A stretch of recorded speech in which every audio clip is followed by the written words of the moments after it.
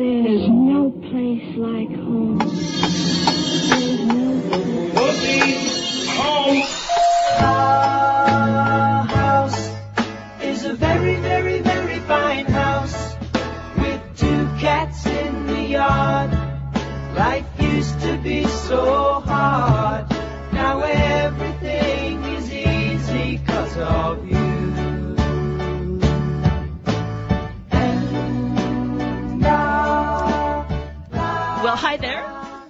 Hey there, and good morning. Hi. Hi, there we are.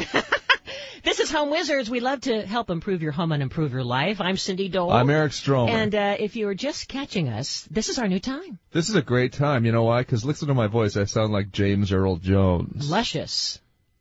Is that? I guess. I, I don't sound like that. Not at all. Well, we're on in this uh, new time slot, and and thanks you guys for hanging out with us because uh, the morning time can really be a big time, and is a big time to make those lists uh, of projects and things. you Well, know? yeah, this is what we love about it. You can wake up and you can immediately access us at, at yourhomewizards.com, or you can hear us right now on the radio and then get inspired to actually do something today and tomorrow on your weekend off. Yeah. Yeah, that's what we're here for. Or if you don't want to do it, you can at least just be thinking about doing it next time. Or we'll tell you who to call. Yeah. Yeah. So when I was growing up, there was something about butterflies. Uh, I think maybe because my mom really loved butterflies, she would have a lot of little decorative things around the house, butterfly dishes. I think she even had a butterfly dress. Something about the butterflies she loved. And so later in life, um, after she passed away, I would always look at butterflies, especially the monarch, and almost feel like that was my mom flying around, like a Oh. little angel. Yeah. Yeah. There's something special about the, the butterfly, Absolutely right? beautiful, aren't they? Yeah. I agree. And so I'm sure that your kids must love them.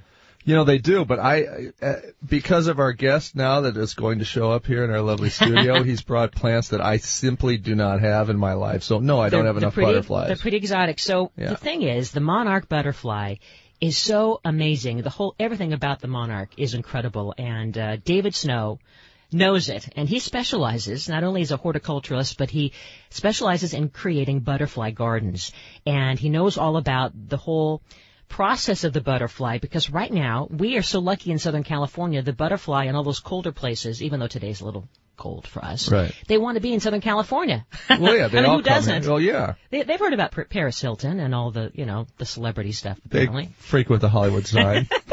they do. Would that be funny if all of a sudden all the butterflies were hanging out on the Hollywood side? and there's David Snow. There's there. So, Yeah. David Snow, welcome to the show. Good to have you here. It's always a pleasure. Good to be back here, and uh, good to see uh, Cindy and Eric. Al always fun. Yeah. So tell us. I mean, is it true that the butterfly, the monarch, always finds the very same tree to come back to when it migrates from the cold weather to here in the warm weather? Yeah, um, you know, Eric and and Cindy, this that's that's been known for the migration of the monarchs that are east of the Rockies, mm-hmm. and they go say a monarch that was in Michigan flies all the way back to the forest, 90 miles north of Mexico City, and uh, that's what they've said. Now I don't know And about who's the- they? Well, the experts. There- Well, you're a- an expert. The well, I. I know, but I haven't chased a monarch through the Midwest, across the border, through Mexico to that Uh forest. oh, I hear a reality show. So I have to say, I am probably more an expert on the West Coast monarch butterflies, but that has kind of been documented that they still can go back and find the same tree.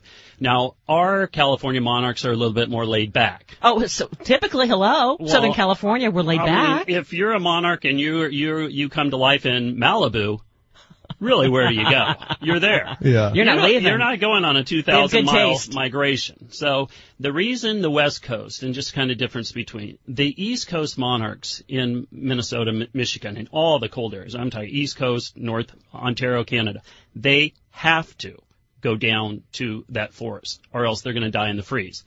Our butterflies in the Southern California just kind of hug the coast, but the West Coast will get, uh, British Columbia, Idaho, Washington, Oregon, Northern California, Utah, and those all come into our area right now. So when people say, "Oh, this is sta- this happens in the spring," in Southern California, it's 12 months out of the year because all the North America butterflies, monarchs, I'm talking mm-hmm. just monarchs, are now and have been for the last two or three months in our Southern California areas, five or ten miles inland from the beach. So So could- then, so then, by by that scenario occurring, do we have more monarch butterflies anywhere else in the United States? at this very time, absolutely. See, And that's another See, reason to be they're, here. They're Yeah. no, they're Now- no dummies. These No. guys know the great real Yeah. estate. Yeah, they do. the good weather. Uh, yeah, and so they do. You know, they come in and they go into Pacific Grove. They do. They come into Pismo Beach. Those are well-known areas that people go up to annually, and to see them in the trees and the tree that they're in that most people talk about. And sometimes people think, do they eat the eucalyptus tree?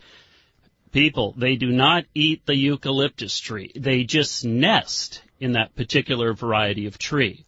Now, and I want to kind of always say this, you know, the eucalyptus tree is not a native to California. We brought it from Australia. We planted it.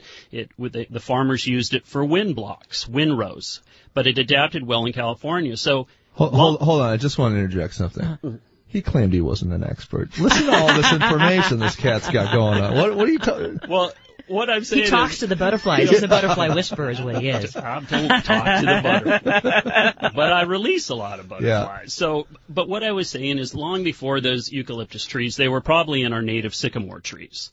Uh huh. They just like a tall tree that they can congregate and hang out, and that's do, that's how they do keep warm. They all kind of bundle Yeah, together. Yeah, because you see those photos, I'm sure you have, on either Right. the videos or it's beautiful. Yeah. Masses and masses of butterflies all in one big cluster. Almost I mean, like a hive, if you uh-huh. will. Hundreds of them. Oh, look He's got, he has photos, he has plant, he's got so many things. He's a show and tell I'm- guy. Look at that. That's a beautiful And it's no coincidence that butterflies in their orange color gravitate to orange flowers. and that's Yeah. a beautiful orange flower. What is that? kind of like David? a poppy. That or, is the angel trumpet tree. oh, of course, the angel Yeah. trumpet that Beautiful. hangs down and has a great little piece for nectar, Yeah. huh? I- and guess what? What? Looks a little bit like an, an angel. it does look like Yeah. an angel. I took that about five days ago. You Um, took that five days Oh ago? yeah, I, I released. We had five and where were butterflies you? that came out. Where was that? That's a, that's my backyard. That's your backyard. And we were Yeah. talking one, two, three, four, at least five so butterflies. Yeah, we- Monarch. every morning about 10 o'clock we've got to open up the, the, the, the net or the cage these are butterflies or these are caterpillars that have gone into a chrysalis and then have come out and once they're dry after about three hours we take them out and we put them on this particular tree uh, because it's about six or seven feet tall and they're probably there for about another half an hour to an hour sun comes up by 10 o'clock or 11 they warm up and they fly away Well, wait, gotta- wait, wait, wait, wait. You, cool you thing. put them on the tr- you you physically remove them from one place and put them in another. Yeah, Eric, if you put your hand into the cage, they will come up onto your finger. I don't know why. They're very friendly, but they you have to kind of lift them out of the cage. You're talking about an adult monarch. Yeah. Well, I'm talking about one that just came out just, of its just, chrysalis. uh, just a bit. Okay, so Yeah. they're still kind of drugged up. Yeah, I you know, think so. They're kind of high on. well, but- they're hopped up on pitocin but, or uh, uh, the milkweed. They- They're, hopped up on milkweed. They are, they are, so, although their milkweed days are over, that's kind of the, the caterpillar stage. Although the monarch is, needs the, the, the milkweed, Asclepias, uh, the- from the milkweed family, the monarch is dependent on the, that particular variety of plant to lay their eggs. Mm-hmm. So when they come out, they may fly around for a couple of days. A female can be impregnated after three days. It's pretty quick. wow. Wow. So after three days, and you'll see in our in our backyard because we have kind of a lot of monarch butterflies, Jeez. but I got a lot of milkweed in my It, backyard. there should be like a butterfly tour, and everyone comes to your house to see all the action, right? well, there's a lot of action There's going a lot. on. There sounds, and, the- and we do mean I mean, action. That's right. The boys are chasing the girls in the backyard. It's like a uh, cruise line in the Caribbean or something, man. Fantastic. and you know, uh, the butterfly thing is, all it is is a fun thing to have in the garden. It's just a cool It thing. really is. It's icing on the cake. And so Well, I I got to tell you too. My kids respond to butterflies like crazy when they see Yeah. when they go nuts and run around Yeah. and try and you know have it land on their hand and stuff. Yeah. And Eric, I was texting you and sending the photos. This was back in the summertime when you brought me the milkweed plant that is the one that uh, that basically is the food and the sustenance for the for the monarch. And we went through the whole process. You gave me a couple of little the little uh, caterpillar guys, and we watched the whole process. They went into the cocoon, but something went wrong. It turned into that bright green and then black, and you I could see the clear opaque Yep. um, cocoon with the with the monarch the wings chrysalis. inside. What yeah. she what Yeah. she do to it? What Yeah. she do? Did, what did I You know- do? I was talking to Micro it. she'd microwave. I it. know. you know, Cindy, I, I gotta be It honest just with dried you. out and didn't in, work. In nature, okay, just in nature. It, and this is kind of the good side, the bad side. It can be sometimes uh, uh,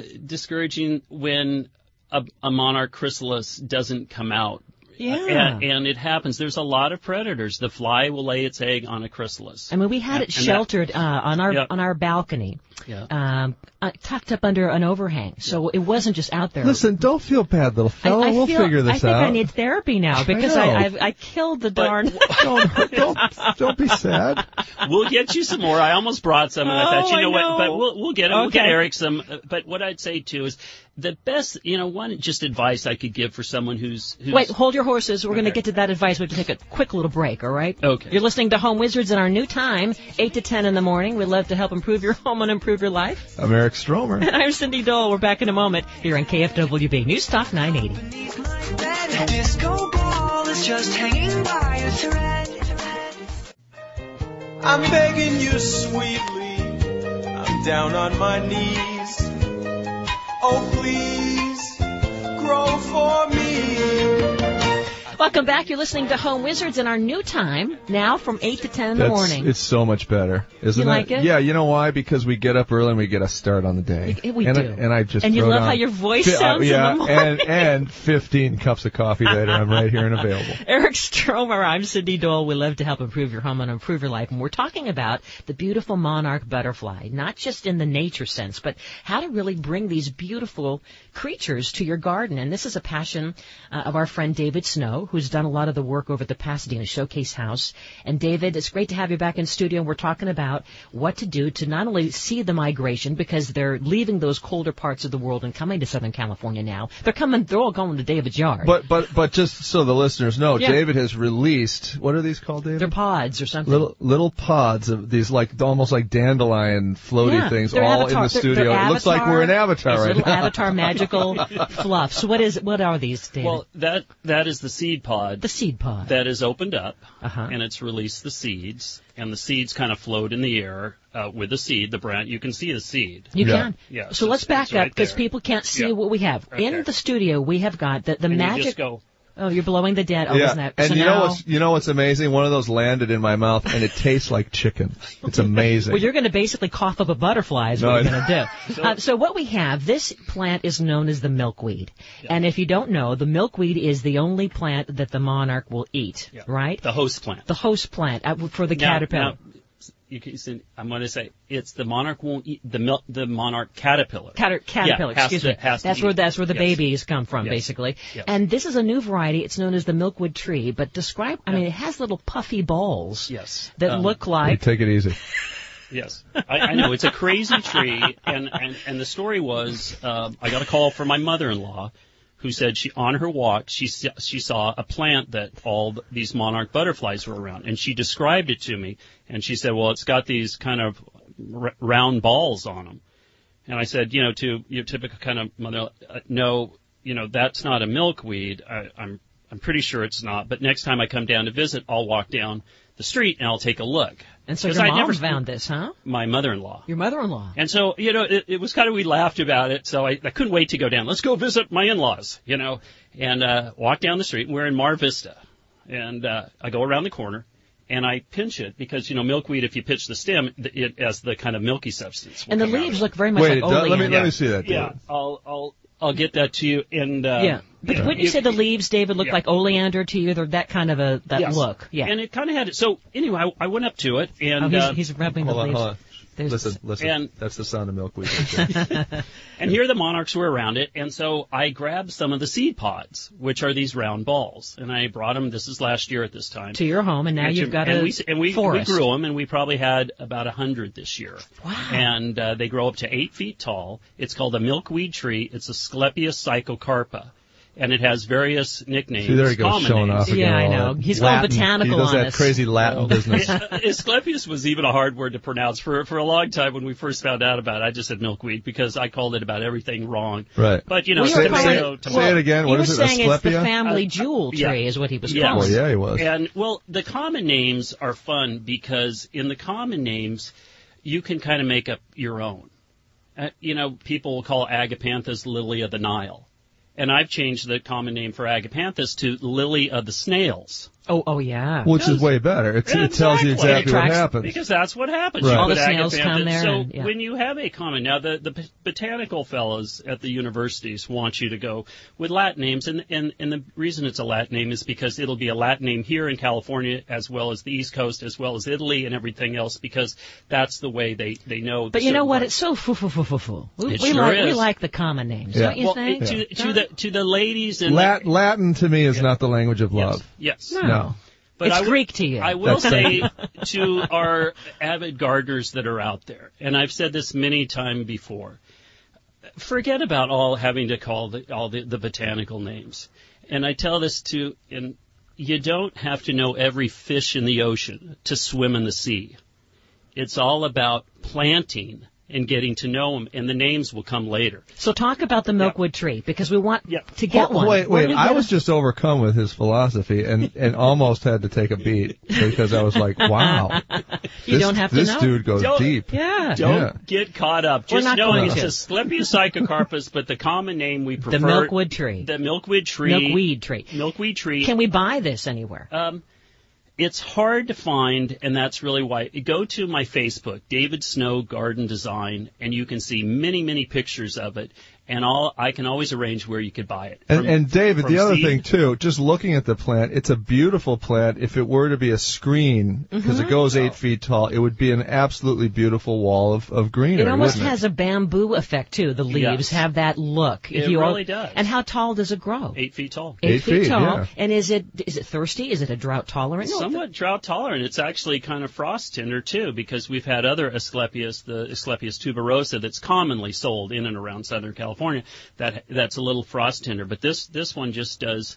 This does great. And, and two, Cindy and Eric, the the reason we like this plant, and for the for the people that are in kind of raising butterflies, it grows eight feet tall and it has a ton of leaves on it. Because you know those those caterpillars, And- they start absolutely. munching on those leaves. Yeah. Eric, when we when we were trying to have a well, we were trying to have a baby, basically. So, we were trying to have when- a monarch. I'm so sorry about I your know, loss. I know. And Yeah. the caterpillar, it eats, it devours the entire bush. It does. So it would be hard so to sorry have for their loss. So when you have a little shrub, I mean that, that's the beauty of the milkweed is because the people will buy two or three and then they'll call you on the phone and say I they need- ate I those. I need two or three more. so the tree yeah. will last, and it, it'll it'll feed a number of caterpillars. I So, mean- so these are not sold in nurseries, really, are not they? not the milkweed tree. So but- you're basically like the you're the you're the connection. You're like the drug lord of this. Hey, hey, I want you to know I've got thing. his cell phone number.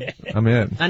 Eric. They've said I'm the king of milkweed. Yeah, baby doll. And when I work, I do a lot with my son, and, and, and my son said, "Well, Dad, if you're the king of milkweed, I must be the prince of milkweed." Well, and speaking of your kid, talk about how this is a great family project for those who are listening who want to bring butterflies, monarch butterflies, to their yard. I mean, what a It- great it- experience. It is. We, we go into a lot of the elementary schools, Point Zuma in Malibu. We did Ladera Elementary in Thousand Oaks.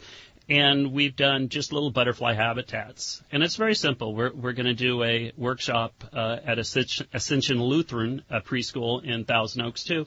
And they're going to invite all the families, and we're just going to show them how to, to build these butterfly habitats. So the kids love them. we have we have the dandelion stuff flying I, through the I studio think still hold on. Ah, I think I just inhaled one of these things. They're flo- from the milkweed tree. So I, you know, if you want to say my kids, my kids definitely know about the milkweed. They love, Isn't that great? They love growing it. I think probably my daughter would probably say I've had enough of the milkweed at times. Right. And uh, well, you have a great T-shirt. In fact, are you wearing it today that says "Got Milkweed"? He's wearing it. I always oh, he wear. is so, he's the best. I love this guy. Now, we only have a couple minutes left. Talk about this other really funky looking plant that probably has nothing to do with butterflies, but it is gorgeous. These purple flowers. Well, how would you describe that purple, Eric? I mean, it It's is- it's almost like a star of purple flowers jutting out of the center of it, and then beautiful greenery. and that, the shade of purple, it's not purple purple. It's almost like part magenta and part blue purple combined. you want to know what it's called? What's it called? Senetti, It's called a Senetti. right? Is that it, David? Yep, that's it. And uh, you know, Cindy, when you say this may not have something to do with um, butterflies, it actually does because purple and yellow are, oh, are they known attract, to attract. They attract them. So with, there's always two kind of plants. You're, you're either attracting the butterflies into the area, into your garden, um, and then once they come down to see all the the nectar, then you got to have the milkweed for the for the babies to start happening. So you have all these nectar type plants, which are hibiscus, honeysuckles, and all these that already the hummingbird, even the uh, the hot lip salvia Oh, that yeah. you see, I mean, that's a magnet to the hummingbird, but it's also a magnet to the butterflies too. So Senetti was what we kind of brought out at last year's Pasadena showcase and, and many of the people that came to visit. And it says it's full sun to part shade, yes. indoors and outdoors. Indoors and Indoors. So this is that- another hardy plant. This is a hardy plant. And I- it's and it's evergreen. We love that it's evergreen. Okay, wait. Let, let me interject here. So, so the milkweed attracts for the feeding. The other, the Senetti attracts for the visual aspect. They're attracted Yeah, to the the color. adult the Yeah. adult butterflies will just keep coming I back. see. But the milkweed is for the Yeah. caterpillars to to produce. And most people's gardens already have plants that attract, you know, hummingbirds Right. and that. So it, it just the addition of milkweed, just like everyone in the last 50 years has put a lemon tree in their backyard. now, regular milkweed you can find at the big box stores. I've seen it. Um, you can find probably it. maybe not the big box stores, but Some of the more specialty the, nurseries. Um, the Armstrong's nurseries. Okay. Yes, they, they, David Snow, what's your website, real quick? It's uh, dsnowgardendesign.com. Awesome. Great having you. Thanks for bringing in your butterfly goodness. Hey, I'll meet you tonight for that milkweed exchange. You hear me? I got a pickup When we truck. come back talking about uh, the Senetti, we're going to talk about the hot colors for 2012. There's a lot of them too. And then we're going to walk you through the color wheel. What the heck is the color wheel, and why do you need to figure it out for the well, colors? we're going to tell you why. It's amazing this All thing. right. Eric Stromer, Cindy Dolan, our new time here Saturday mornings, 8 to 10. Home Wizards to improve your home and improve your life. We're back in the flash on KFWB News Talk 980.